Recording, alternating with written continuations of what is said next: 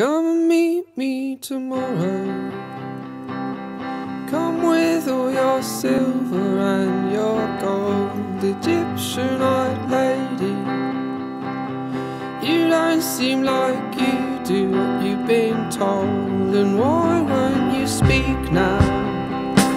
Tying string between